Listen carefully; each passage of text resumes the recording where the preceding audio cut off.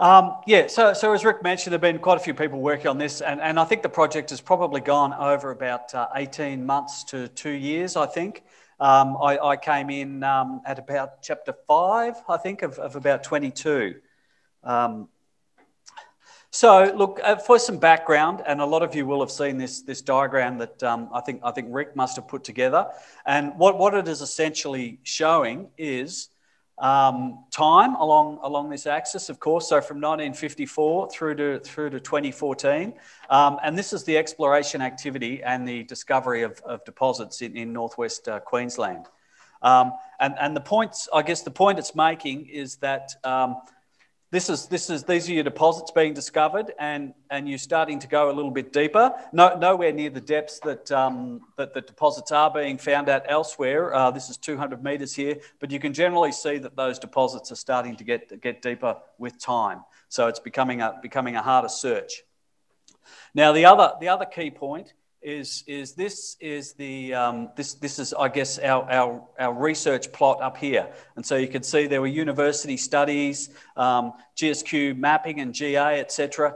The various uh, cooperative research centres that happened, and and various other um, research programs, um, and. Uh, a lot of them happened after 1994, after there was a rash of discoveries, which is, is natural. Um, you know, there are discoveries, and, and, and it immediately prompts um, people's attention in, in areas.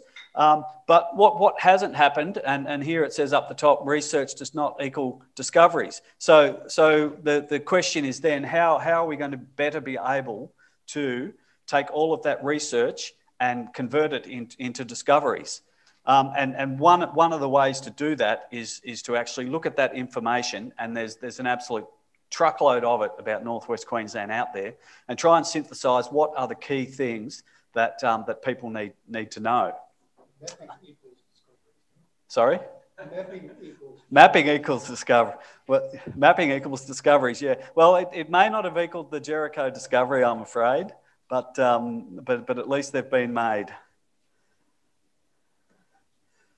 So um, I, I, guess the, the, the, approach, and I guess it was set up set up by Rick, Rick and, and Helen, was to, to say, well, let's let's make that that material um, available to everybody, um, and, and not only summarising as as would happen in, in, a book, you know, the, the book Northwest Queensland Mineral Deposits, but to do more than that and to actually take take the data as well. So so the atlas, and I'm sure probably everybody here is reasonably familiar with it, comprises, um, comprises two components. One is, is essentially, I say hard copy, but it's a PDF uh, document that summarises each, uh, each deposit.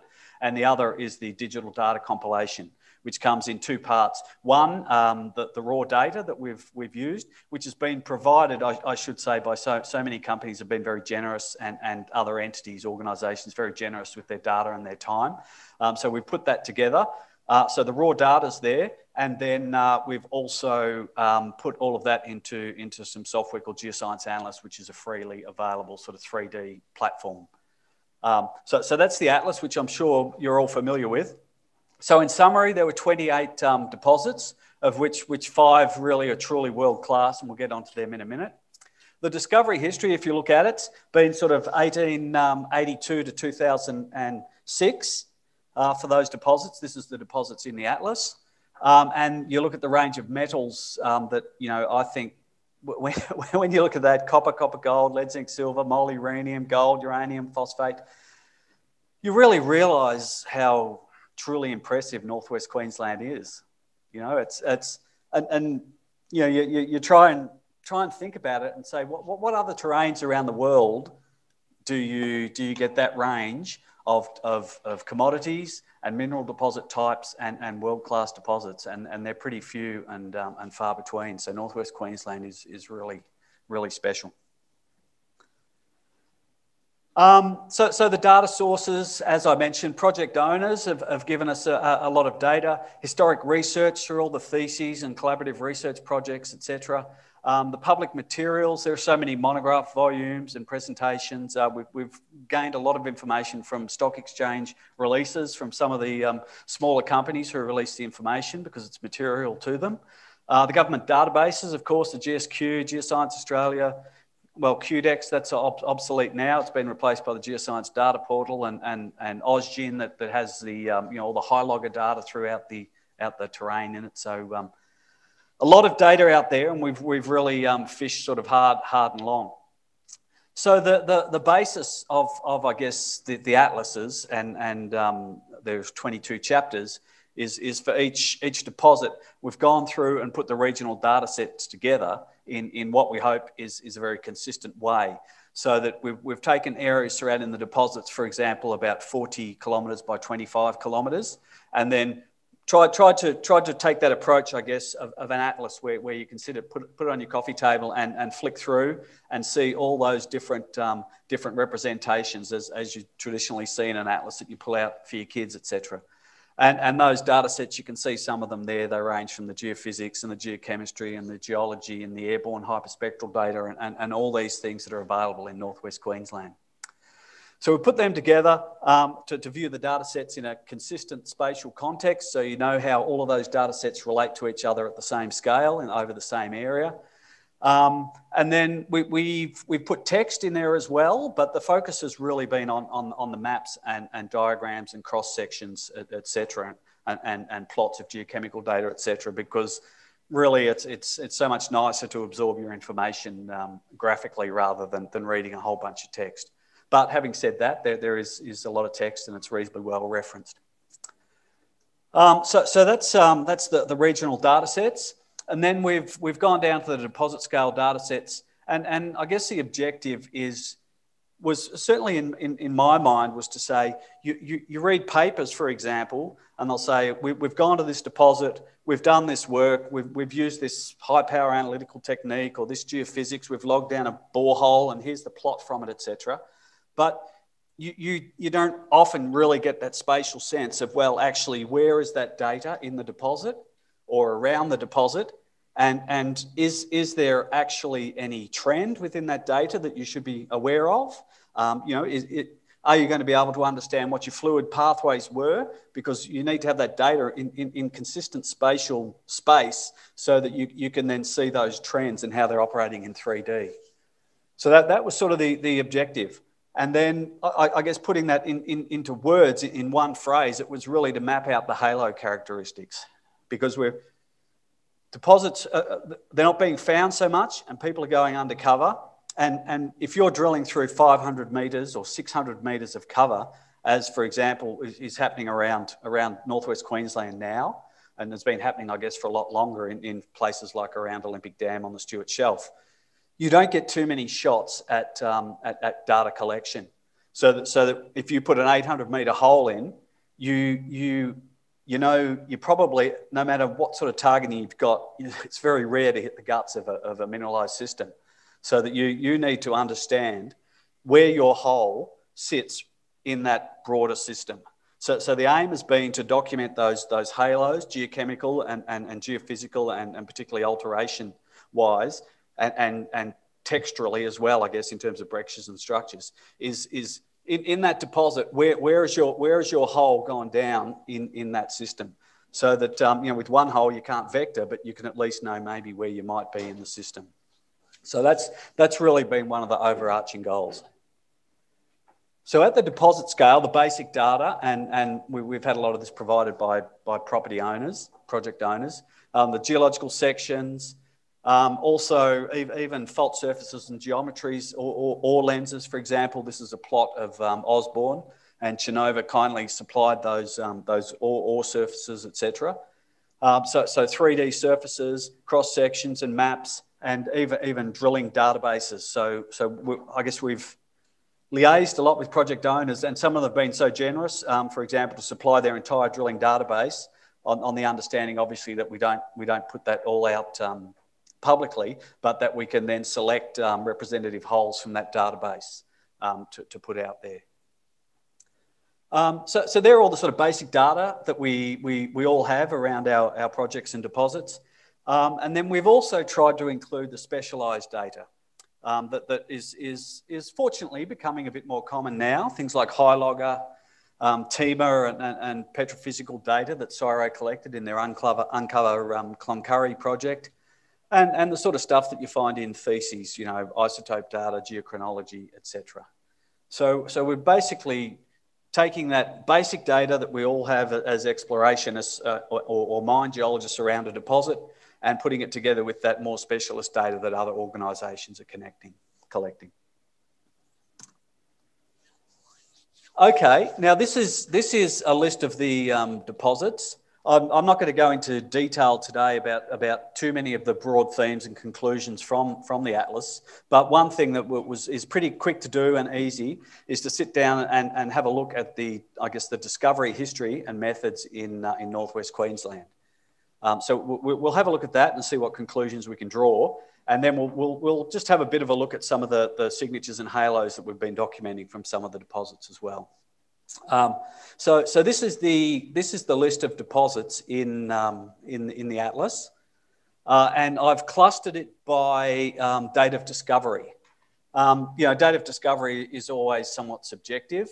Um, you know, thing, things get noted, but but um, you know, is it is it when Gossans were first noticed, or, or was it when the first drill hole was drilled, or or actually things sit around for 20 years and then then actually a resource is defined? Is it then, etc. But in in general, this is is a plot of those um, date and method of discovery. So, I guess the, the, first thing is is to note the method of discovery, and and it's not surprising that um, as you look through that method of discovery prospecting, prospecting, drilling, prospecting, prospecting, drilling, prospecting, prospecting, drilling, prospecting, prospecting, prospecting, drilling, prospecting, prospecting, uh, geological mapping, rock chip sampling, soil geochemistry, prospecting. Okay, and that's Pegmont is the last prospecting in 1970. So essentially, prior to 1970, most of those discoveries, more or less, were based on prospecting, seeing old workings, um, gossans, you know, malachite in outcrop, etc., and or drilling around old timers' pits. Okay, so that was until 1970. And then after 1970, I guess it, it became more a technological um, discovery path. So that you see, then you started to look at ground EM, aeromagnetic, um, stream sediment geochemistry, soil geochemistry, and there's quite a few aeromag, um, and then there's air core drilling and prospecting drilling uh, on the end there. Okay, so so uh, I, I, guess it's not surprising that about 1970 um, the discovery method started to be something that was a bit more technologically and and and I guess systematically based rather rather than um, prospecting. Um, now, the other, the other thing I've highlighted here, here in purple, what, and, and this is subjective as well, but what I would consider to be the truly world class deposits. And so there, there was that first obvious phase of, of Mount Isa copper and, and uh, lead zinc silver. Uh, arguably, you could put Mount Isa copper a lot later than that because I don't think it came into production until about the 1950s or something, maybe but it, it, was essentially sort of Gossans, etc., were, were seen in those early days. So you had those two, two world class discoveries in 25 and uh, 23, I think, is it? Um, and then, uh, and this is, the, this is the stunning point, I think, from this plot Century, Cannington, and Ernest Henry all were discovered in basically those, those two years. Okay. And uh, Canning, Century was, was uh, and, and, and this is from my reading of the data, was essentially a soil geochemistry discovery. But Cannington and, um, and Ernest Henry were both from those big um, aeromagnetic surveys uh, that were flown at, at, various times. So it's, it's, it's, it's I think it's re- really interesting that, that these discoveries, the first two cluster, and um, I mean, they're, they're right next door to each other, so, um, so it's not a surprise. Uh, and then the, the following three, they're, they're you know, in such, such geographically spaced in such different places and, and three different types of ore deposits, um, but they were both discovered in that, in that rash of, of 1990-91, which when you step back and that plot that we put up earlier that showed the discoveries and then the start of the research, a lot of that intensive research started in, in 19, about 1990, 91 uh, on the back of these, these discoveries. So, so it's you know it's it's it's a really interesting uh, interesting uh, look at it, and um, I'm looking forward to seeing that next uh, world class discovery, maybe 2021, on the end of that diagram. Um, Yeah, so, so this is just to highlight there was that nine year, year period when, when there were um, so many discoveries in, the, in that one, uh, one period. So the, the, the, other thing that's interesting when, when you, you, you survey all of these deposits and, and you look at, at how they were targeted, okay, and there are a couple that really stand out for their conceptual targeting, okay. Um, I think it might be on the next slide. But you, will see that um, there may have been more than this because, uh, again, what, what's a conceptual target is, is objective as well. Um, but essentially, you go in 1966, the Eastern Georgina Basin was targeted as a, as a favourable location on, um, on the basis of, of, analysis of the sedimentary environments. And um, Matt was showing that diagram a little bit earlier and, and saying, well, most of the Georgina Basin actually sits in the Northern Territory. But if, if you look at the Georgina Basin, all of the, of the, the high grade phosphates are on the eastern margin, sitting, sitting here in Queensland. And, and that, that was nominated back in 1966 as a favourable place to explore for phosphate deposit, economic phosphate deposits. And the, the really interesting thing is, if you look back at that history, okay, um, all of those deposits and, and that, that Matt showed, there were probably about eight of them, were all found within about two or three years. So as, as soon as people came in and decided this was the place to be, and they found one phosphate deposit, and then they applied that template all the way up the Eastern Georgina Basin and, and basically found all, all of those deposits that are there now.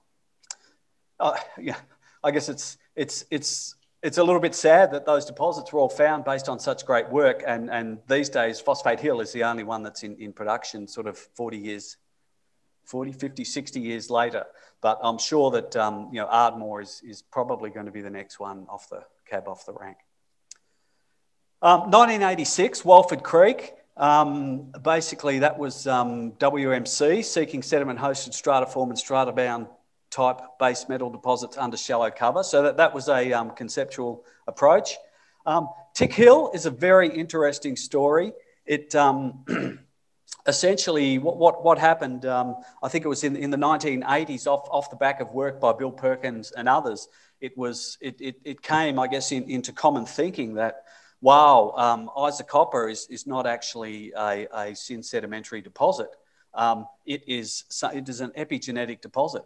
Let's go and look for more of them in, um, in, in high strain zones, um, in, in carbonates, um, and I've forgotten what the other targeting criteria were. And, and that led Carpentaria at that stage to head down south uh, in the Corella Formation. And, um, and uh, we'll, we'll, look at it a little bit later, but, but whilst they were searching for Isa copper style deposits, they ended up finding the um, incredibly rich Tick Hill gold deposit. Um, century lead zinc, um, the Lawn Hill area was targeted during a conceptual study seeking base metal deposits. I think that might have been by um, Rio. Somebody will correct me if I'm wrong, no doubt. And, um, and, and I guess one of the most celebrated stories in terms of um, you know, conceptual scientific targeting is the, is the Cannington silver lead zinc deposit, which was um, BHP. And they, they applied a, a lithostratigraphic model developed by um, the North New South Wales Geological Survey for Broken Hill, and they came and applied that in, uh, up in northwest Queensland. And then 1991, Ernest Henry Copper Gold, um, where uh, WMC came in and utilised a model based on, on a pull apart um, or rift basin um, setting with, with various stratigraphy and granites, etc. So it's, it's, uh, it's, it's interesting to have a bit of a look through and see where, which of those, which of those deposits were, were um, found using um, really conceptual type targeting. And, and I guess it's also interesting now I think about it, you look at it, and um, those three world class deposits found in 1990 91 were all on the back of that um, conceptual targeting programs. So, discovery process, I've just, I've just documented here the discovery tools um, with their number of, um, number of discoveries, and you, will see that as, as we saw earlier, prospecting was at the top, um, soil geochemistry, um, and then stream sediment um, geochemistry, um, arguably, it's, it's, it's interesting. I, in, in, putting the atlas together, I, I had a good look at um, that fantastic um, document, the Geochemist Toolkit. I, I, presume most of you have had a look at it, and, and it was put together by Joe, who's here, and, um, and Lily, and Hannah, and, and one or two others, I think. But it's, it's, it's a fantastic document, and, and it looks at a lot of case studies throughout northwest Queensland. But, but it was, it was interesting looking at the stream sediment section because um, I don't know if it was, it was Keith Hannon's um, impression, but um, it, it, the comment was really made that um, stream sediment geochemistry hadn't really been that successful in terms of um, discovery. Um, so so it, it, it, discovered two, two deposits. I think in this atlas, if it's Tick Hill is certainly one of them, and I think maybe Grevillea might be the other one that I've, I've ascribed to stream sediment geochemistry. So so that, that was sort of interesting. And then, uh, then you have rock chip geochemistry, air core geochemistry. Um, I think the air core might, might have been Coulthor maybe. And then um, two by ground EM and, and five um, sort of aeromagnetic uh, discoveries. So, you know, it's, it's sort of interesting to actually sit down and put those numbers down on, on paper about, um, about what's, what's been working historically. And obviously it's changed with time. I think, you know, if, if you look at the last 20, 30 years, the prospecting is obviously um, hasn't featured so heavily. So just to, to have a look at some of those halos from typical exploration data sets and, and examples of discoveries from 1969 to 91. So soil geochemistry, Century, and um, if anybody knows more about it, I'd like to be corrected, but, but based on my, my reading of the literature and, and discussions, it, it was essentially a soil geochemistry um, discovery. And, and what you'll see here down on the bottom left uh, are plots um, from um, Agnew 2007 uh, where, where he re- reproduced um, the original soil sampling that, that happened um, over the top of Century. And it, for, from my understanding, it sounds like the interest was actually in the impact um, crater out to the east. Um, so you, you can see that the northeast on these soil lines uh, was a long line, and just on, on the southwestern end of the line, um, the top is, is zinc ppm in, in minus 180 um, micron soil fraction. is, that, is that spike over the, over the deposit? So, you know, that, that was 1990, I think. So it's, it's sort of interesting to say, you know, we tend to say the Isa has been explored and everything's been traversed, etc. But back in, in 1990, which is not that long ago, there was still a world-class deposit found very close to surface by soil geochemistry. So it's, um, yeah, it's, it's quite instructional.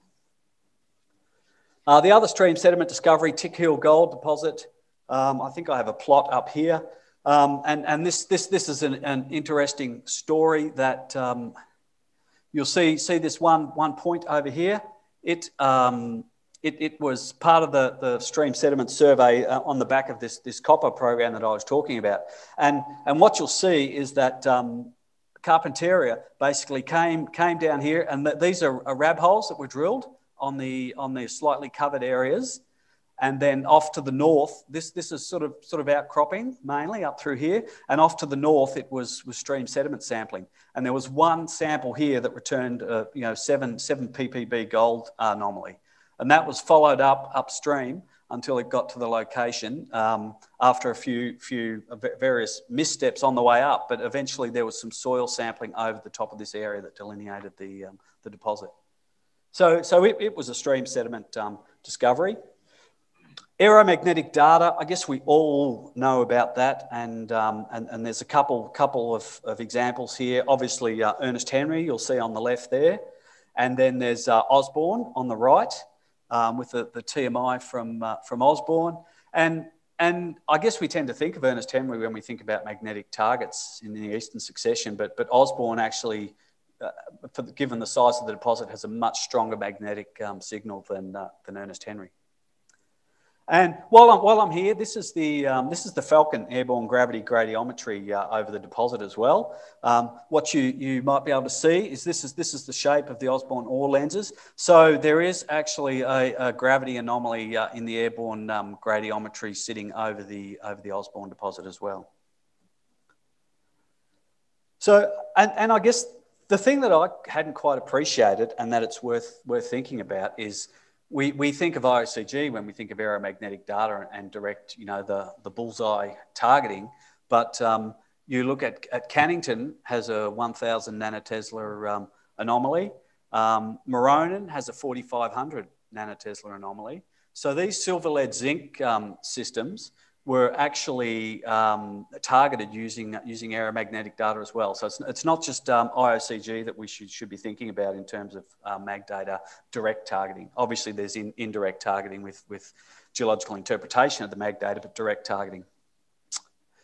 Um, the other one is, is Walford Creek. So this is EM data. Walford Creek was it's, it's a really nice discovery history. It was essentially conceptual targeting um, based on um, you know there being workings in the area and the right sort of stratigraphy.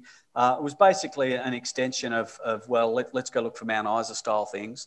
Um, and then it was essentially a ground EM data discovery. So that's interesting. I won't dwell on that too much because we're going to have a good look at it um, a bit later. So, so they're, they're the, the, the real typical deposit, um, deposit signatures in those geophysical and geochemical data sets that, that no doubt we've all seen before. Um, but what I also wanted to, to, show you were a couple of other data sets that we've included in the atlas that, that um, whilst they, they weren't um, directly related to discovery, they uh, are a good characterisation of what those deposits look like. And these sorts of technologies, I'm sure, will be aiding in discovery in, in the future. So this is, this is um, the Mount Isa copper and, and, and zinc lead silver deposits. So on, on the left uh, is the RAB and um, diamond drill hole data, um, basically from, from surface. It's, it's been mapped to surface. So, so you'll see that there is the lead, zinc, and, uh, and copper there. And, and the thing to note on this is the enormous size of, that, um, of those geochemical halos, okay? at surface. This, this is a five kilometre scale bar. So, you know, you're really looking at, at 10 kilometres of, of a long strike anomalism in those, uh, in those three base metals. Um, but that's, I mean, that, that's, that's, a, that's a typical data set. But why, why I put this up is this is the sort of, sort of new, new, well, I say it's new, but it's, it's old work by Chris Waring, I think in 1990. Um, and, and it was this recognition of oxygen isotope depletion over the deposit. So what you'll see is, is these, these higher values up to the north, but as, as you get down to the deposit through here, you, you start to lose, um, or, well, your oxygen isotope, um, uh, you're going, going to, to lighter values.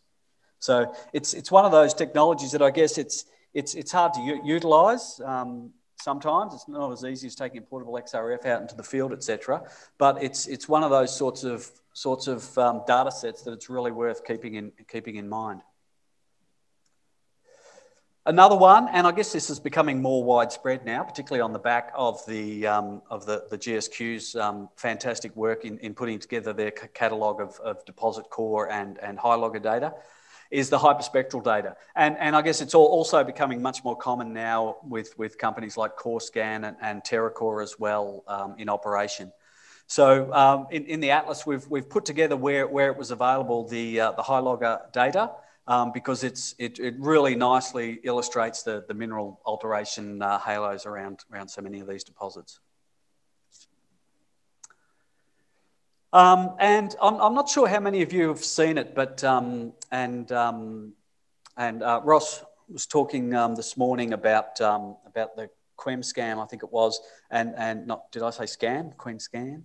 Um, and TIMA is, is a relatively similar technology from CSIRO, and they, they had their under, undercover, undercover Cloncurry project, and they, they basically went through so many of those eastern succession data deposits and, and, and obtain the drill core and samples. And they've, they've done their um, mineralogy um, information, um, the, the team are scanning. They're, they're, little blocks, you know, about a centimetre or two, two, two, one and a half to two centimetres. Uh, but, but they really nicely demonstrate the textures and the mineralogies of the ore systems.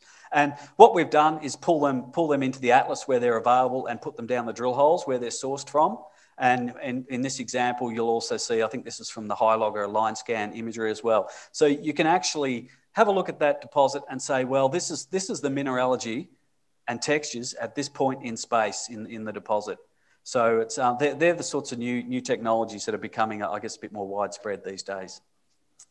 And, and one more that I, I think is, is really interesting, and I wish I had more time to sit down and know more about it, is the um, anisotropic, and anisotropic magnetic susceptibility. Um, and this is another um, CSIRO data set that was collected in the Uncover Cloncurry um, project. And I, I, I, don't yet fully understand it, but uh, essentially, in terms of, of your mineralogy, you, you are, are, making your anisotropic magnetic susceptibility based on, on the strain that is, um, is, is happening at the time of your, your magnetite formation. And so, um, you know, Jim Austin has, has some quite, quite interesting uh, or well, when you look at his data, which I've plotted up here, so, so this is from, from Ernest Henry with, with his, um, his, his, the directions of his, his magnetic susceptibility. And you can't see it so much on a, on a 2D plot, but, but when you go, go and look at it in detail, you, you really start to see where those, those different orientations are, and they're perhaps reflecting um, different, different um, a strain conditions or different generations of magnetite. So, it says a, a, lot of this really interesting data that's out there that um, is, is starting to become a bit more uh, accessible these days. Um, yeah, so that's it there. Um, look, I've touched on this um, on this delivery. Uh, so we have the hard copy and we have the 3D data compilation and models. Um, and over there is the is a picture of the website.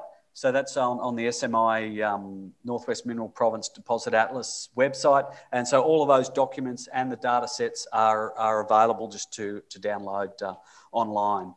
Um, and they're also on those, um, those USB drives that were the black ones sitting on the desks. Um, so, so that's it. I'll, I'll leave it there in terms of the, um, the talking. And, um, and now we can, we can crank up a, a, a Walford Creek the Walford Creek um, data set and, uh, and have a bit of a look at it and, um, and have a run through, through the data. So I'll, I'll give you a couple of minutes to, um, to, to, anybody who has laptops or geoscience um, analyst. Um, you can open up those, those files that, that were on those uh, pen drives I passed around, and we'll have a bit of a look through the, um, through the data sets. So I'll give you a couple of minutes to do that. Mm. Wait, wait for the microphone. two microphones. You can go in stereo. so you've been looking in detail at that um, discovery history. Mm. It looks like up, up until the early 90s, a lot of mapping, and then the mapping largely stopped and it was taken off by geophysics and geochemistry and detailed studies. Yes. But, but yeah. not so much basic mapping. Looking at it now, would you say it's time to go back to some basic mapping aided by all of those techniques we've got available to us? Because there's an awful lot more, well, there's still an awful lot that needs to be mapped. Mm. And with all the technologies we've got available, we can map much better than they would have been able to map during these earlier mapping uh, periods. Yeah. So I, I, suppose I'm making a plea here to Helen yes. that we should really start considering starting mapping, serious mapping again. Yeah, yeah. would you agree, or do you think that's old-fashioned? Well, I, I, think there's there, there are two, two aspects to it here, I guess. One, one is is degree of coverage, okay, and we can, we can always be refining our, our work, and and you know I, I, I can't see Helen might correct me here, but but I, I can't see really too many of the surveys in Australia, for example, returning to your standard map sheet mapping, but I think now people are starting to focus, and, and we heard um, we heard earlier today uh, Derek talking about trying to tackle individual problems, uh, or not problems, but individual areas where, where there is is a part of interest. So I, I, I totally agree with you. There's still a lot to be mapped. It's it's a matter of how much detail you're going to go down to, and, and who's going who's going to fund it. Um, and the other part is I, I think is technologies.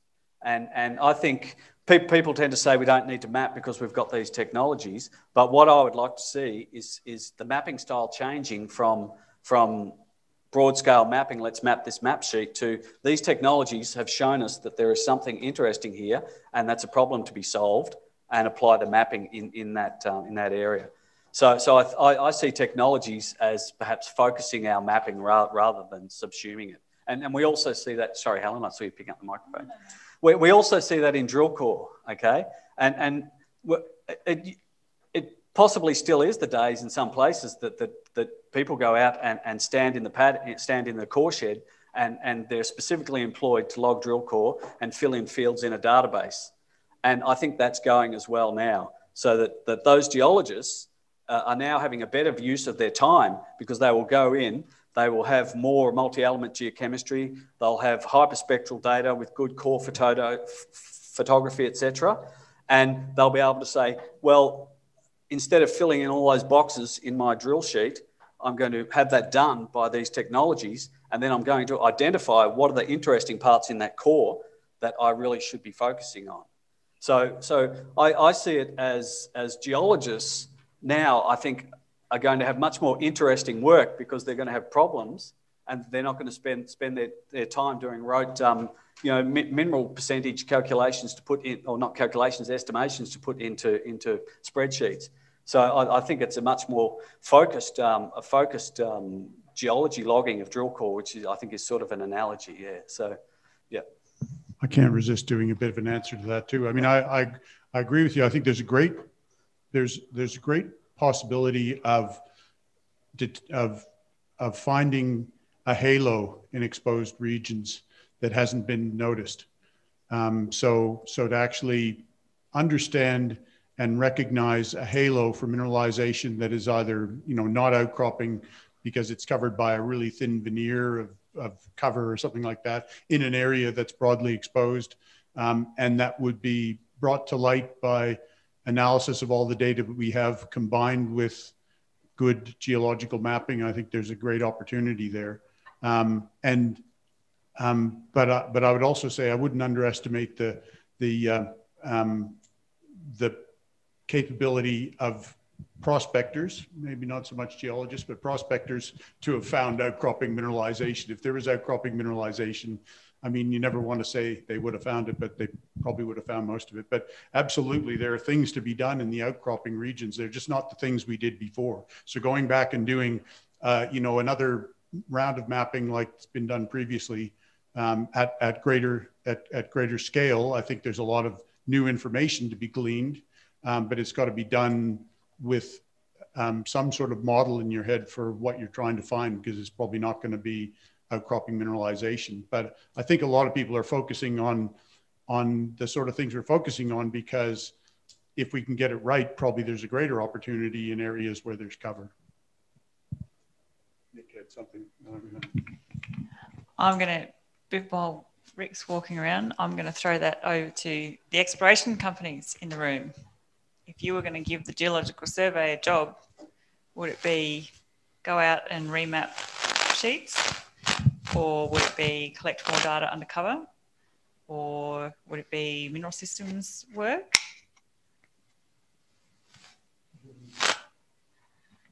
Well, I think mapping should also include uh, looking at drill core. So there's this there's this feeling that mapping is just the surface, and we have this horrible problem that people don't enjoy enough spending time solving problems by looking at rocks.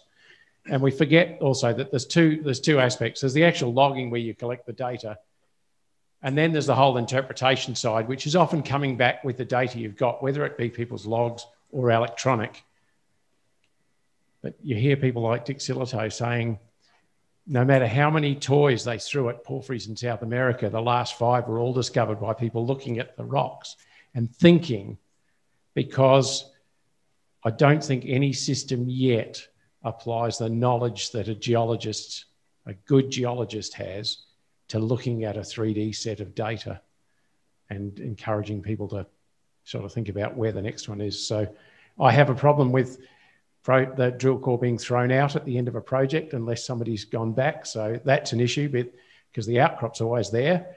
But when we can't fit it all in our the GSQ core shed, we're actually losing the outcrop we're creating, if you see what I mean.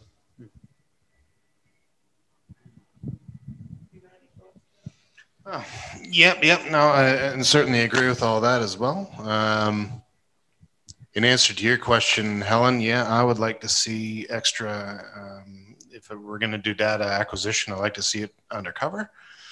Um, that's where we can uh, make the most impact when you're talking about stratigraphic holes. When you're talking about, we have entire mag complexes up in north uh, north of Cloncurry and, and Ernest Henry that are 12 kilometers square but have two holes in them. Um, that that's that's clearly an area we can make an impact, especially if we do manage to break that barrier of, of the cost of, uh, of drilling and, and you know with the coil tube rig that type of thing. Don't know if that'll actually be what actually does it, but if we can actually do a step change in costs, that's probably how we'll end up attacking it anyway. I do like mapping. I can't help it. I'm a traditionalist. Um, and there's still a lot to be done there from the point of view that uh, we certainly find areas that uh, we have a look at and we find greater detail. Sometimes the actual greatest issue is is is doing all that great work, and it's often associated with a master's or, or an honors program, and then actually getting it back to the to uh, the GSQ to effectively put it back into the system. That's probably where most industries um, that interface is probably still failing. And from the point of view of, of uh, finding things at surface and it being dog's ball obvious, I think that's part of our problem. We can see it in those graphs. It isn't. But what we're missing still are the, the and, and Rick pointed out, is that we're, we're talking about the, the uh, when you're sitting in a halo and standing in a halo, worse still, there are cryptic vectoring uh, uh, cryptic alterations that you can't even really probably even see. We're we're noting that right now with our own with our own internal research, and you and and once you actually start to look at that and you then you figure out how you're going to apply it out in the field, that that that could actually be very very powerful from a superficial mapping, taking the latest technology out into the field and then applying it that way. But I don't see that that's necessarily going to be um, the survey doing that, that is uh, that is uh, uh, the, the froth of, of exploration advantage as you as you develop those things in house. I've in in a previous life, I've sold a property to someone who walked on to another corner of the property that we never mapped and found a porphyry copper. My name is Rick Valenta, and I'm a schmuck.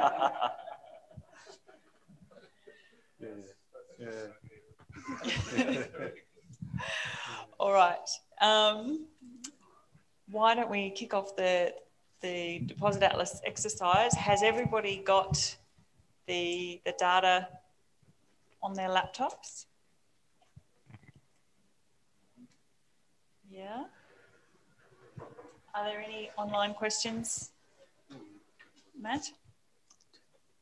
No? Okay, so I'm going to assume that everybody online has also managed to download the data set and I'll hand back over to Paul. Okay, thanks, Helen. Um, all right, so what, um, what, what we have here is, uh, as soon as I can find the, uh, the right folder. Oh, here we go.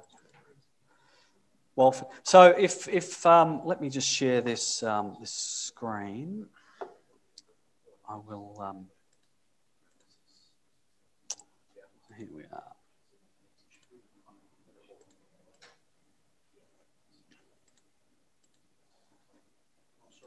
Yeah, so I'm not sure how to share the screen on this. Yeah, yeah. You can share it already. Yeah, how do we swap? Um, All right, okay. if that's right. So you want to get, you want to get it going, get, get. uh, Oh, that's right. I can drag it onto the other screen, Yeah, can't I? so Yeah. if you, have you quit from, I don't know, we've got to. Yeah, if, yeah, just go to the folder, Oh, folder sorry. underneath. I'm just going to quit from PowerPoint here. Yeah. Okay. Uh, and then. Which one? Walford That's it. Yeah. Yep. Great. Oh, so we can start that and then drag it onto the other screen. Yeah, Okay. I think Good. so. Let's see, see how it works. Okay. So, so the um, geoscience analyst um, files. You're going to have to look at it over there. There we go. Oh, yeah, yeah, yeah, Yeah. fine, yeah, I don't have the rate, Okay. I don't have the So it's over to the right. There we go. That can work, Yep, I think so. We'll just maximize it. yeah. Hmm. Uh, Might have to turn this podium around or. Yeah, that's right. of- I'll, uh, I'll, I'll be right. Um, yeah, look. So, so what we, um, what, what we have is on, on those, on those um, drives that you have, there should be a, um, a, a folder called Walford uh, Exercise. Sorry, it's a bit. There we go. Uh, and essentially, what, what we've done here is put the, um, put the, the Walford Creek uh, information together. Um, so you can you can arc that up if you want. Um, this should have the um, geological map on it. Um, I'll just move this. Okay. Um, is is there anybody here uh, has this this up, or or sort of most people watching? I guess. Um, there's one over there. Okay. Oh, good. So so what what what I've done is is um, set set this um, this this uh, up, um, and I've, I've, this is the data. So we have regional geology, geophysics, geochem, and, and I've, I've sort of stepped it down the, down the way that you would, would partly run, run your exploration data sets and, and have access to those data sets. So, so that first, for example, you have your, um, your regional geology, which I'm sorry, this should have had the, um, the uh, should have had the geology mapped onto it, but for some reason it has, um, it has not. Uh, we'll put that up anyway there. Excuse me, one second. What, what, um, what we're doing is just, just mapping the, um, the geology onto that topography. Uh, sorry, it's a bit hard to see across the room there. Sorry? Oh, it must must be something to do with this this machine, I think. So anyway, this is the um, so this is the um, the geology you have there, okay, and we'll put the legend on. Um, so this um, this is this is up up around the Walford Creek area, and I thought I would um, would would put it on so that you can you can have a, have a look at that uh, at that geology, okay. So this is the legend uh, going from from old here up up through through the um, so I'm finding it hard to see here, up, up through the, um, the, the old granites, the Tuala group, um, the Peters Creek volcanics, and then the Fickling, and then um, what's this one up here? The, um, anyway, I can't quite read that, um, and up into your, your Mesozoic and Quaternary type rocks. Um, so, so that what's, what's happening here is, is so that's, that's the, the 2D geology that you've got. So we also have the, the 3D geology in there so that Sorry, I, I had a, um, a lot of exaggeration on that for the topography earlier. Um, so the, what, what we've done is take, take the data sets from the um, Northwest Queensland Mineral Exploration Province study um, from 2010. And in, in all of the, the digital atlases, we've, we've imported that data, which is, is your set of faults that you have through the area, and also the stratigraphy which is set up into your, um, your super sequences, uh, your super basins, okay? So, so for example, you'll have your South, your South Nicholson Basin right up the top there, um, then, then into your Isa, Isa super, Isa super basin, etc. And you can see, you see that in, in that data set, so for example, I'll, I'll this, this is the um, Fish, Fish Creek Fault, Fish River Fault here. Uh, and you can see that, that it's been down thrown to the, the south. So up, uh, you're up on the Murphy Ridge up here to the north. Um, and then, then your ISA group is, is down thrown along with the rest of your stratigraphy uh, down, to, down to the south here. Okay, so, so we, have, we have the 2D geology and the 3D geology. Um, so, so if you, if you go back and you look at, um, you know, we were talking earlier about the copper cobalt deposits, the carbonate hosted copper cobalt deposits, and, um, and Western Mining came up to this area looking for essentially ISA, ISA type um, to rocks to find, find um, lead zinc and deposits. Um, so, so if you have a look through that, um, through, I'm not sure if you can see that, but basically this, this is your stratigraphy. So, so you, you have a look up through there and say, well, where, where, are, where are the carbonates in that, that stratigraphy? And, and, and, and if you do that in this case, you basically then come up to the, up to the Fickling group, which, which is, I'll, I'll let you know now. So this is, is essentially where the Walford Creek um, deposit sits in through here. Um, so, so looking, looking for that, um, that, that stratigraphy, you then are essentially, this is the Fish River Fault. So, so you're down to the south of that where your stratigraphy is down thrown. And, and so you're finding your Fickling group uh, down in here. So, so this was uh, when Western Mining went into this area, there were a couple of, well, I'm, I'm not a mind reader, but from what, what I read of the old literature and, and exploration reports, they, they, there were a couple of things that attracted them here. One, one was, was the major fault. Uh, the second was, was the right type of um, rock sequence. And the third was the presence along, along strike, along the Fish, um, Fish Creek Fault, Fish River Fault, of um, mineral occurrences, lead zinc um, mineral occurrences. So, so that was basically what, uh, what, what took them in here. So, so if, you, if, you, if you look at that stratigraphy, then you, are going, you're going from the older, uh, uh, older, older granites and the Peter Creek um, volcanics, which, which include mafic rocks up to the north here, and, and we were talking earlier about cobalt deposits and, and their relationship with, with ultramafic and or mafic piles. And, and uh, you know, you, wonder if, that cobalt um, mineralization we see at Walford Creek is, is not somehow related to this large mafic pile up, up here to the north.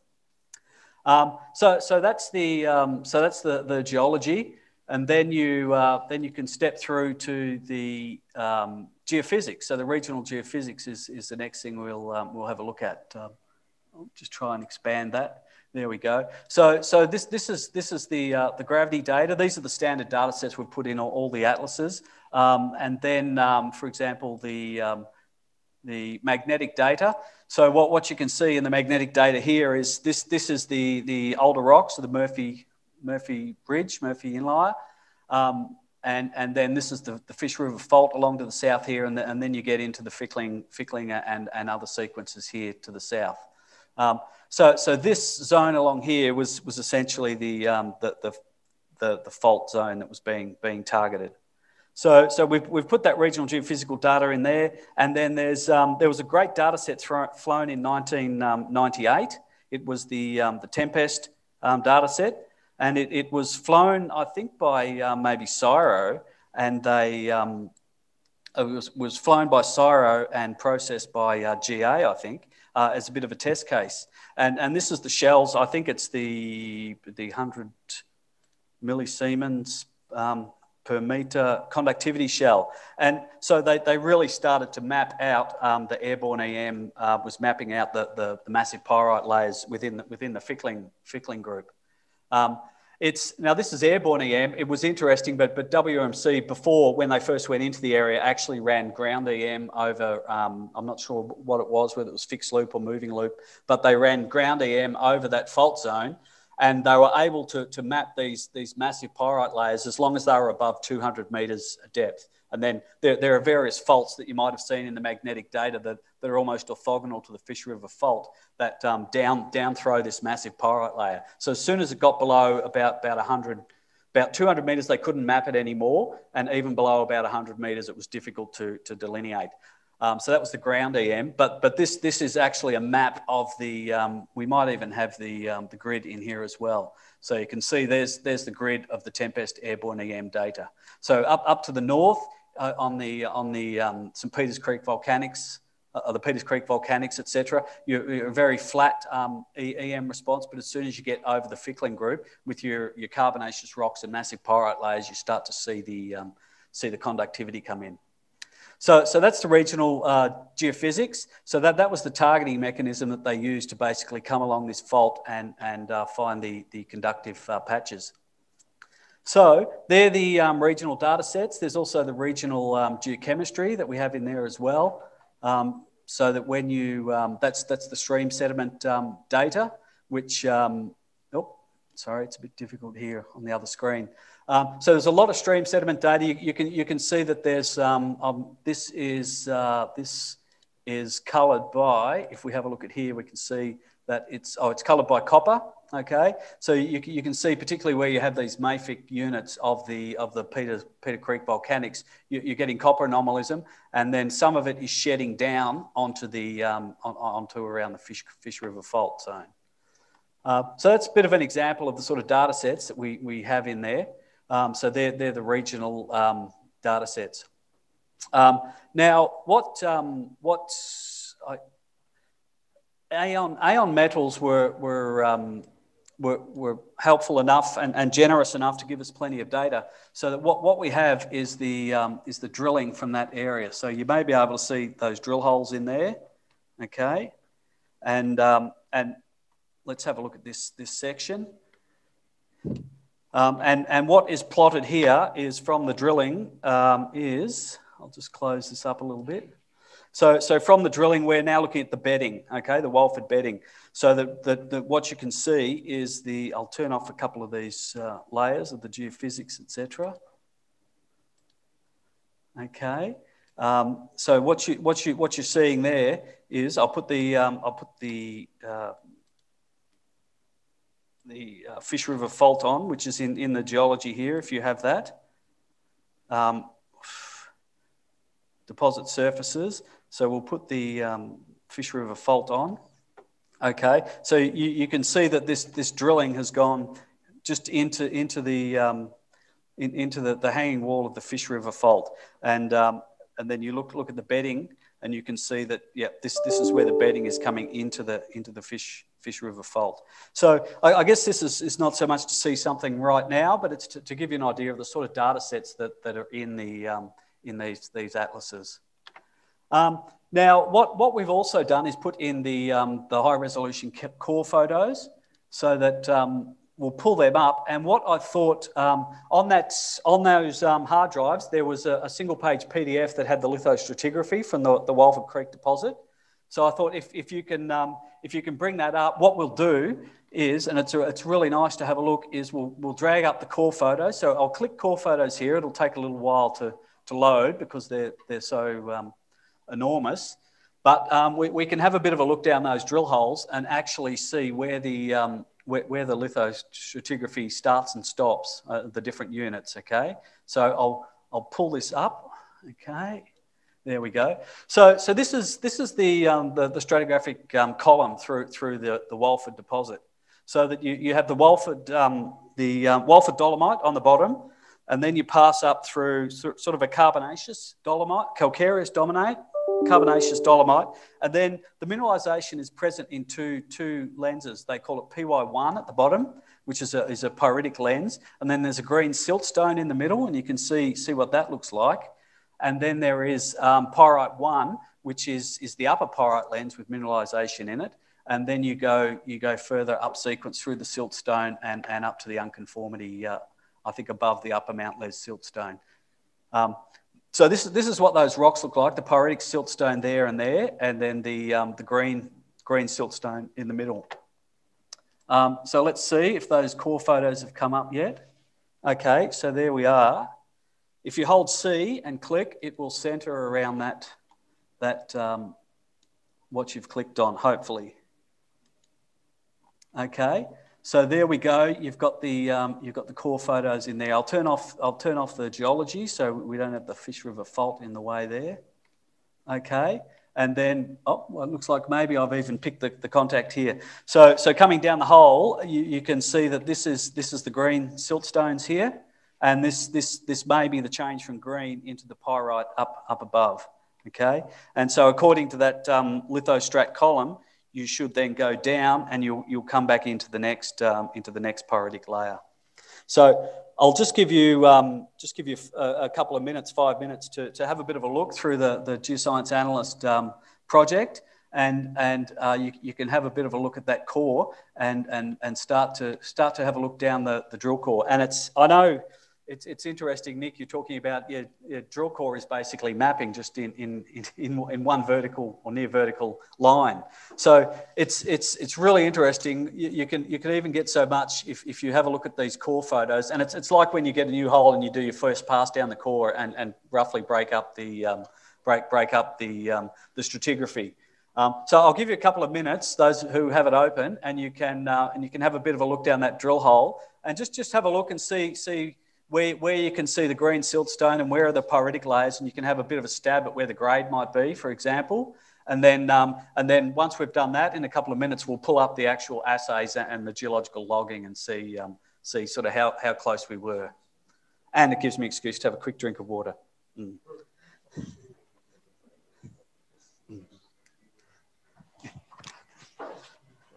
Good, good to see somebody's got it up there. Sorry? Oh, that's right. Uh, it doesn't matter if everybody hears what I'm saying to you.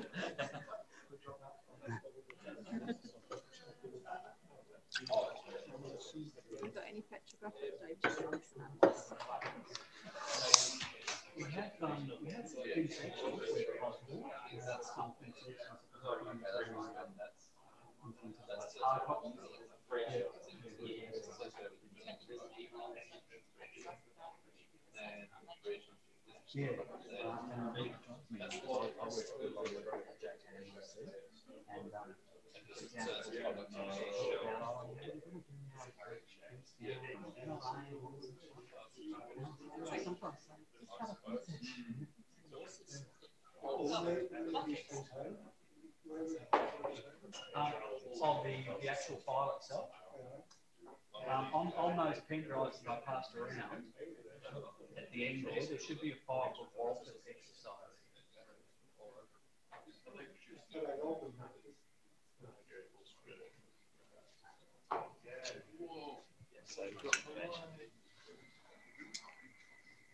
There's oh, that's it. If you have it. Is that it? Yeah. Where is, I can't see those core photos.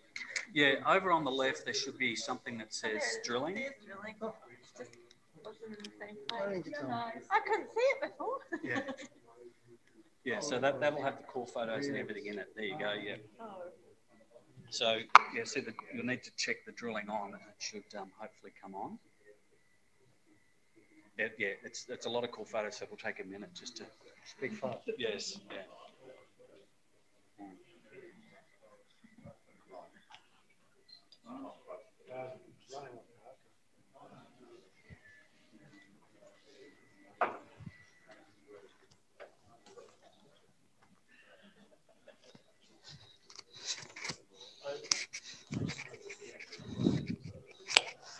Okay, we, we have a lot um, a lot of things to, to get onto next. Rick's going to show us some um, Euclideon material, so so we'll just push on with this. Um, so basically, this this is the um, is the core, and um, what what um, we've been provided, for example, is the geolo- simple simplified geological log. So you'll see down these drill holes. If I click on this, you will see that it's it's uh, well, it's the mineralized one unit. So that's that's the up probably the upper pyrite layer. I think green is probably the um, is the green siltstone, and then you come down underneath into the um, the the second mineralized unit. So that if if we we look in there, we should um, see that that rock change. Okay, so up up to the top, you're in, in that greenish siltstone, and then as you go down, you get into the pyrite layer. And I think I don't know if it's this hole, but some of them actually go through the Fish River Fault and down into the um, St. Peter's Volcanics in the basement. So it certainly looks like you're down, down around the, the fault material here. It's down at the bottom of the hole. Okay. So that, that was just, just to sort of show you the sort of data that's sitting in these, um, in these, these projects. And so, so if you go to the SMI website, um, these, these geoscience analyst projects are there for all, all 20 two chapters. Okay, so there's a lot of data from a lot of different deposits. So if you're ever interested in, in any type of deposit, um, let, let alone a, a, specific deposit, but any deposit style, it's really worthwhile to go, and have a bit of a look. And you can actually have a good look at, at, at what the rocks look like, the, the structural architecture around the area, and what the geology is like, and, and the various other data sets, you know, the geochemistry, et cetera, that's sitting there. So, um, Oh, okay. I'm just yep. Excellent. Um, so so that's that's that's just a quick um, quick whip through that. So I'll um, I'll leave that exercise there. So you can take take all that data or download it, and um, you can just install Geoscience Analyst on your machine. Um, it's it's free. Uh, it's done by the people who make uh, Mira Geoscience, who are involved with GoCAD. So it's, so it's a pretty nice product. You can access uh, all that that data. Um, which is a nice segue onto what um, Rick's going to talk about. Um, sometimes you may not may not feel like you want to download software onto your computer and open open a file up after you've downloaded it, etc. But um, Rick can tell you about some work that he's been doing with uh, Euclideon to make it much more accessible. Mm. There you go, Rick. Thank you. Yeah, so I think we, we've got uh, we've got about 15 minutes left, so I'm not going to they're, they're, they're, we, we've handed out this, this software, but I'm probably not going to make it an exercise. I'm just going to maybe show you what, what you can, um, you know, what you can do to have a play with it. Um, oh, better. Well, oops, I keep going in the wrong direction here. Save changes? No. Right. Okay. And I'm going to go to, so, uh, um, I just want to show uh, really quickly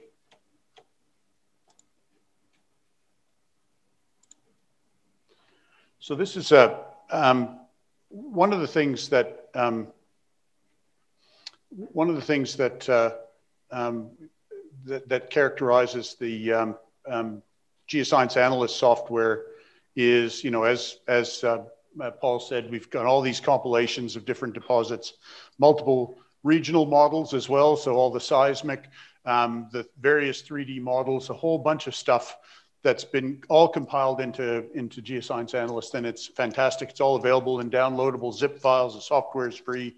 Um, if you look at Walford Creek, you load up Walford Creek, you look, you load up all the data, and that pretty much maxes out your computer if you've got a good computer. Um, and then if you want to look at another deposit, you quit from that one and you open up another one. Um, and so the challenge is that that it you have to download the data. The challenge is that it's you have to have a pretty grunty computer. Um, and if you if you update the data, if the people compiling the data update it, then you have to go and download the next version of the data and that sort of thing. So that's all I was going to say there. Um, we'd been working as we had bought a, a hologram table from this group called Euclideon, and they they also had this other piece of software that's a free piece of software called UDStream, and um, and we sort of felt like that'd be a good, and they felt like that as well. That'd be a good thing to visualize geological data with it. So they've been, you know, they've been working on. We, have been working together to try to make it able to visualize geological data, and I guess I'll try and just show you why. Um,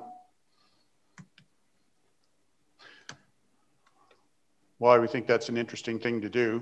One of the, um, I'm just going to take a second to log in here.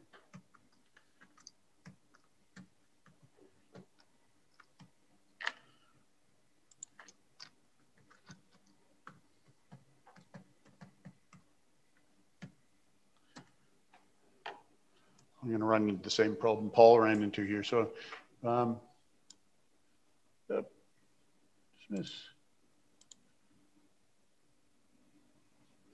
Oh, wow. Um, it's going to work if I come around like this. You don't mind looking at my, yeah, that's better.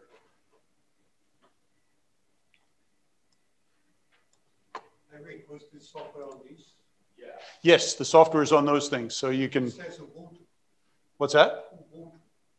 It's, there's, yeah, there should be a Windows version as well. So I'm just going to open this project. They've actually got an online, we've, we've, we've taken bits of the Mount Isa Atlas and, and loaded it onto this software. And what these guys did, the reason we bought the hologram table from them was that they had the entire Gold Coast loaded up. It was uh, when, we, when they loaded up the data and the guy who was showing it to us was, had it loaded on a, a little pink MacBook Air and he was connecting over the slow guest internet connection at UQ. And he was flying real time through a picture of the Gold Coast. And I thought that seems like an interesting thing because of the problems that we have with, with large amounts of, of data. So this is just a like a little progress report of trying to do the same thing with geological data. So what we've got here is the the um, the uh, um, so so in the background is a tiled image of the of the magnetics, um, relatively high resolution, so it includes the latest stitch and and so on. Um, then the the strips you can see are the are the compilation that I showed last time we were here in Mount Isa of all the seismic interpretations for the Mount, uh, that were available at that time for the Mount Isa region. Um, and then the colored strips here are the Exploring for the Future um, airborne EM. So all the airborne EMs in there as well, if you zoom in close enough. Um, and, and then coming up, and it takes a little while to load up because this is not, this is not on my computer. This is actually all this data sitting on the Amazon web server. So we're, I'm, I'm loading up all this data and it's, uh, you know, gigabytes and gigabytes of data. I'm loading it all up over the wireless. Um, and I don't know if this is there yet, but you can, with this sort of system, because they've got a clever way to store data, you can even go as far as, that looks a little bit funny, but, but loading up the, the drill core as well. Um, so there's the, the drill core for, you know, uh, the drill core that we have for Ernest Henry. Um, and if you go back, if we zoom out a little bit, Oh, yeah, that's just, that's gone a bit weird, sorry. Um, the magnetotellurics are in there as well. Can't see them very well in this, but the, the I'm not sure why that's not showing too well. It's, it's, it's a work in progress, right? But the, um, um, so the magnetotellurics are, are in there, but, but the other, the other thing about this is that you can, what we're looking at now is the, is the 3D model as well for the that, that was put together for the Northwest Queensland, the NWQ MEP. So that, that compilation that came out in 2010. So the 3D model for there is all in there. Um, and, you know, the one, there, there's a bunch of data for, for Cannington. So, so uh, we move to, there's, uh, what's that? Yeah. so, you know, there's, there's some of the sections and then, then over here we've got, I, I, I, should turn some of it off. That'll make it easier to see it. But the, you know, we've got um, images of the various geophysical data.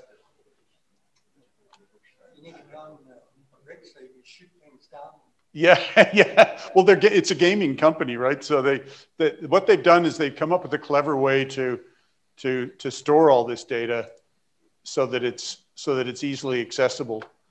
Um, and you know, same thing for so for Osborne, for example. There, well, there's here's a drill hole from from Osborne, and in this case, what we've got as well is the is the TIMA imagery. So. Uh,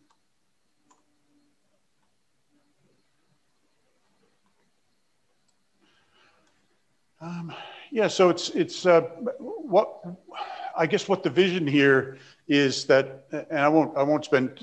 I've pretty much used up my time now. So um, so we've got you know we've got drill core and uh, is basically to have rather than having 24 different atlases and and all those regional compilations um, in separate files that you have to download and do all that stuff with, is to have them all available online and and if someone if the gsq or whoever decides to add more data to it or you know i think we talked before about people being able to add data themselves or submit it to add it to a model like this that we've got like a common model for the whole northwest mineral province that's got everything in it. If it's got if there's new mapping if a student has gone out and and remapped an area then it, you could throw in a, a map from that area relatively easily. Um, and, and essentially the amount of data that you could put into this system and access as long as you've got a you know reasonable connection is unlimited. I've literally seen like a 400 terabyte file being loaded up and and it, and it works. So so we're it's not a sort of super major project for us. We don't have a commercial arrangement with these guys. It's more just trying to think about the next phase of of, of work to try to make all this data available in a seamless and and, and usable way. Um, there's a there's a version as well that they're working on that that that we actually have. They've given me the special software for it where it can, but I'm not going to load it up now. We've run out of time. Where you can actually visualize and plot values in in drill holes. Um, they're improving the polygons because they're a little bit they're a little bit messy right now. But it's uh, it's just showing I think what you know that the sort of next phase that we'd like to to take this to. Uh, but the thing that I wanted to, to show you, so you've got the you've got the software there. What they've also done, um, I've just got to load up the, so so that the in order to, so I'll just pull this across.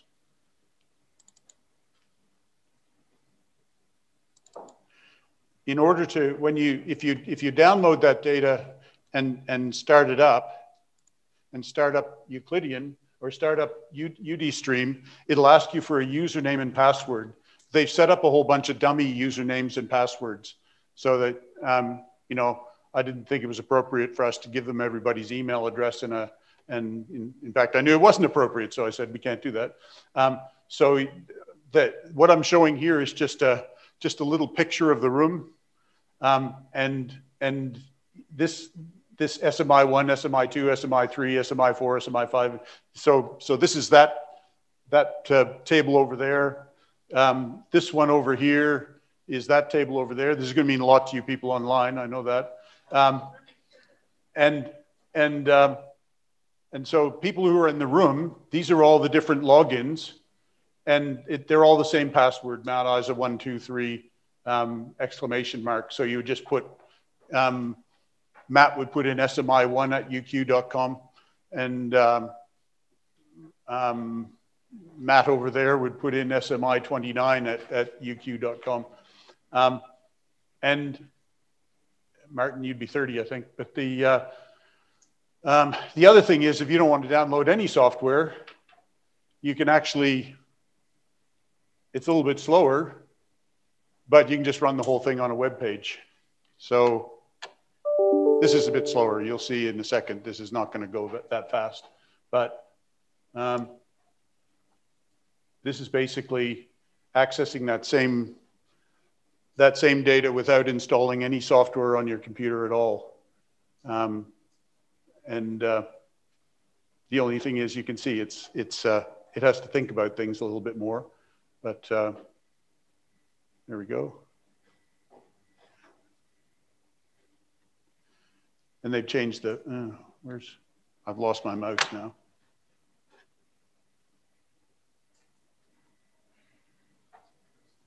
Can you see? Oh, there it is.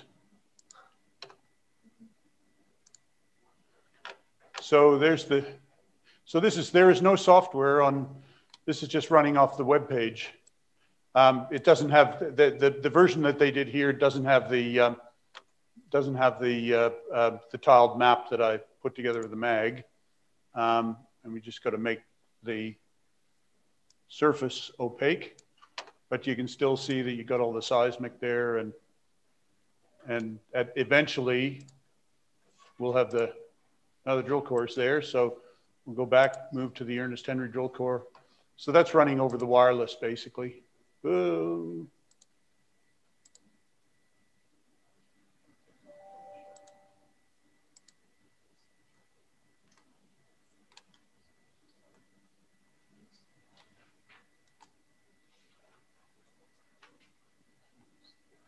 I'm getting lost now and I can't, oh yeah, there's the, there's the drill holes. Oh, that's not drill holes. That's uh, anyway. Yeah, um, it's it's very hard to, to navigate from this from this angle. Uh, yeah, yeah, that's right. Well, we got a hologram table. So anyway, so that's that's the other thing. That's probably all I wanted to show at this stage. But if you want to have a play with that, and it's probably more fun to have a play with it than watch somebody else somebody else have a play with it. There's there's the there's the details for getting on. Doesn't work with Safari, by the way, because I just tried it on my Mac and I had to install Chrome before it would work. So we've only got five minutes left before um, before uh, afternoon tea. So if anyone has any questions or comments or anything, then then um,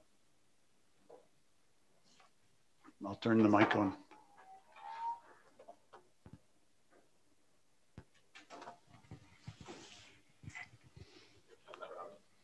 Yeah.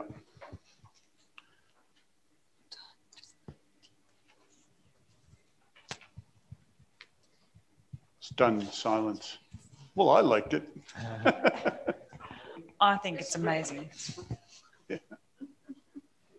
I think we had one question for you guys as well, which is uh, clearly it's it's a little bit, um, you know, it's got a little bit of work to do, a little bit of tidying up around the edges, but our question is what what would you like to see implemented in that environment?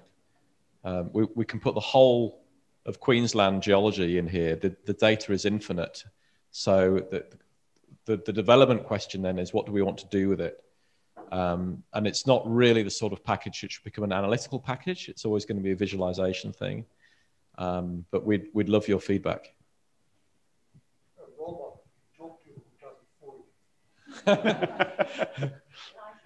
That's not a bad suggestion, I don't think. Yeah, the suggestion was for people online a robot so you can actually tell it where you want to go rather than having to, to grapple around.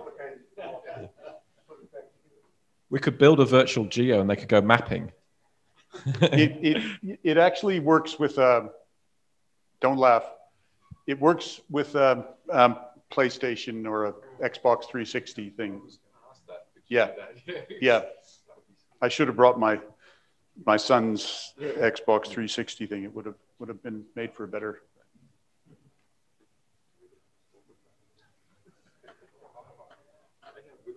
Yeah, Nick Cook here was was, you know, asking can it go into the augmented reality world, and at the moment it's it's actually on that web browser and as software on your laptop. But the idea is that you you know we we want to be able to link it into the hologram table or into virtual VR goggles, so you can do things like collaborative research, you know, with a group of people all looking at the same data.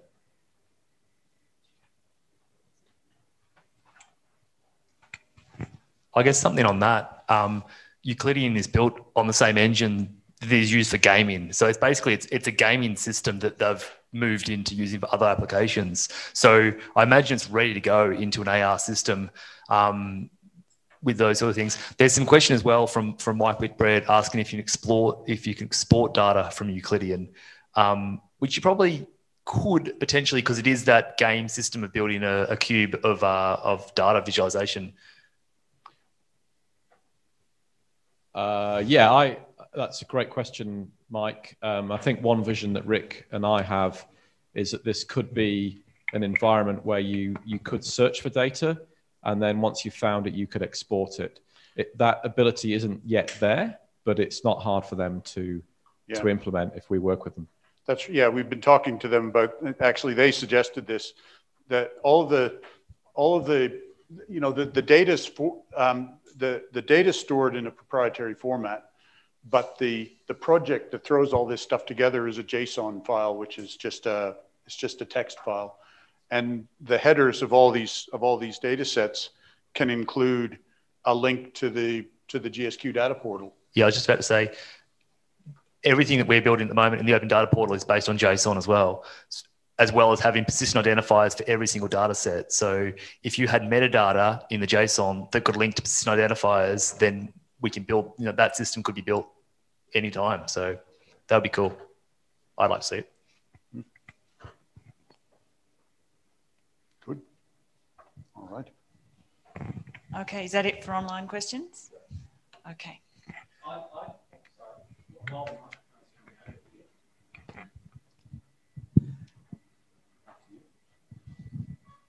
Um, one thing that might be useful would be um, drill holes, all the drill holes with metadata, even if they have, um, you know, the the uh, Imago style um, photography, but so we can go and find them um, and, and approach people about that. Another comment coming back to the what do we what do we want to see? So, what data could we collect? Something might be interesting. So, you know, this conversation about mapping. So, we're always trying to make a map. You know, it's, we're just trying to make it potentially undercover. Things that would really help support that would be petrophysical data. So, we can then push and forward model um, potential field data undercover. One of our other projects, which hasn't been presented on uh, this workshop, that uh, um, Jim Austin at CSIRO has been working on with us is collecting a lot of petrophysical data, amongst other things, in, um, in selected drill holes for key deposits. So it's definitely on our radar. Yeah, and the, and the atlases have, have petrophysical data. Not all of them, but we tried to put petrophysical data into them. And I guess the other thing to say is that the, um, the, the version, there's an experimental version that I didn't get, I ran out of time to show today that, that actually plots drill hole data. And the aim there is, is, you know, eventually it's, I think it's limited to about 32 different characteristics that you can put in it, but they're already working on getting it up to a, you know, a number bigger than any number you'd care to do. That could include metadata and, and links to, you know, with the core, for example, what, what you, that's core from, from HyLogger. So you probably want to be able to move your mouse along that picture of the core and actually access the spectral data from, from HyLogger. That's, I mean, the whole aim of this is to make, to make playing with all this data into a geology exercise, not a software exercise, which it still kind of is now. So. Well, thanks, Hal. Yes. I was just going to say one, one more thing. I, I've never used the web interface before, and just to clarify to anybody, just write down that um, that link address there, and when you get back to your computer, just enter it. It's as simple as that. There's you don't need the password or anything for the web web browser. You go straight into it. Yep. Yeah, it doesn't ask you for a password. So.